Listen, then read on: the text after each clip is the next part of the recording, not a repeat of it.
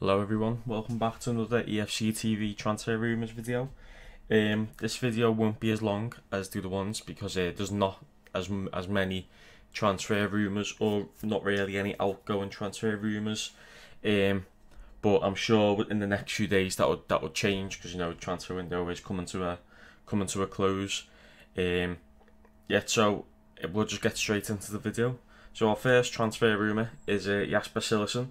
Um, the 31 year old goalkeeper from Valencia. Last season, he made 38 appearances, had 10 clean sheets, um, conceded a goal every 81 minutes, so he conceded 42 goals. Uh, when you look at comparing to Pickford, Pickford had 50 appearances. Um, that's in all competitions with Pickford, 15 clearances, clean sheets. Um, conceded 60 goals, which is 70 goals per minute. So just per minute, Jasper Cillessen Oh, he, has got the better, um, better ratio. So I think he'd be a good goalkeeper, especially like you know he's thirty one, but realistically a goalkeeper can keep on playing till they're a bit older. Um, and I think with his experience, you know, he's played for Barca, being at Valencia, he, he's had a lot of first team football, and I think ju- just even even if he doesn't make the number one um, spot he, he'll push Pickford all the way. Like um, he, he'll make Pickford work for the spot, which is, you know, which is one one thing that no one's really done at the club. They haven't really contested Pickford for his space, so I would be happy with the Jasper Cillessen at the club. Next player is um, Sergio Romero, the Man United goalkeeper. He's uh, 33 years of age.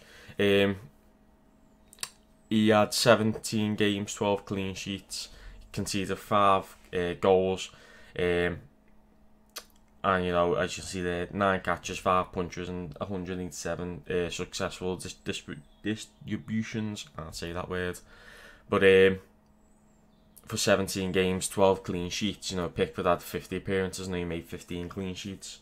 So it's literally the comparison isn't even there. He's he's a you know Premier League proven goalkeeper. I would be really happy with him at the club, um, but I wouldn't spend an excessive amount of money on him, you know, because he is 33.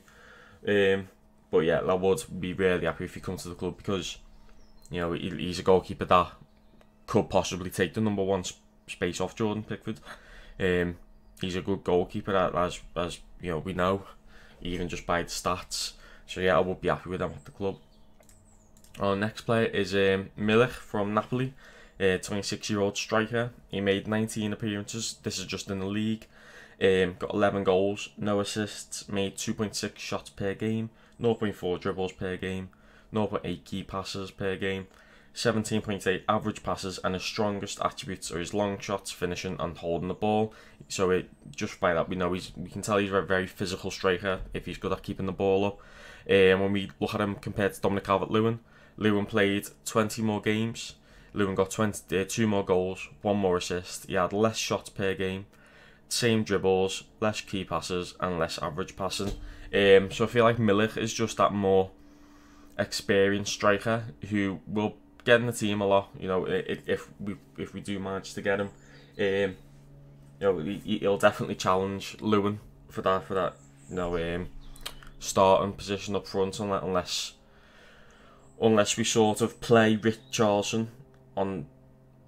I don't I don't know how you would do it. I I I probably think we'd have to change up the formation and probably put Gomes on the bench, play Allen alongside Doucouré, and Rodriguez more in the middle. I don't know. If we get him, they'll know. They'll know how to fit him into the team. Um, yeah, but you know, he's a very clinical striker. 19 appearances, 11 goals. Um, he just bring a lot more firepower to to the front line.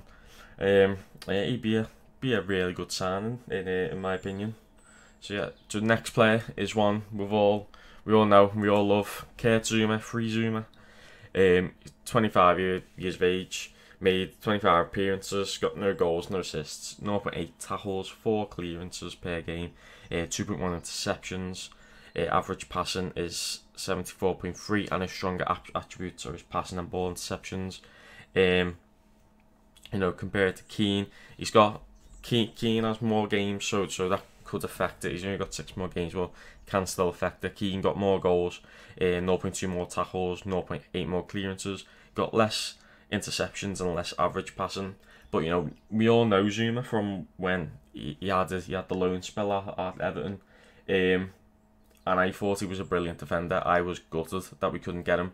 He was just very physical, and you you knew he was there. Like he, he wouldn't go quiet in the game. He'd make some big challenges. I think just adding him to the players that we've got at the club, especially like Doucouré and know, there's that French connection. Like, I can just be boss and you know he, he was only on loan like a, few years ago, so there's still a lot of players at the club that that know him. Um, I think he would be a brilliant addition to the squad. So yeah, I'd love Zouma to come back to uh, come back to Goodison Park. So our next one is and transfer. Uh, Dennis Adeniran, he was so I made I put this one in um, earlier on the week. This is a done done deal. He's, he went out to the uh, on loan.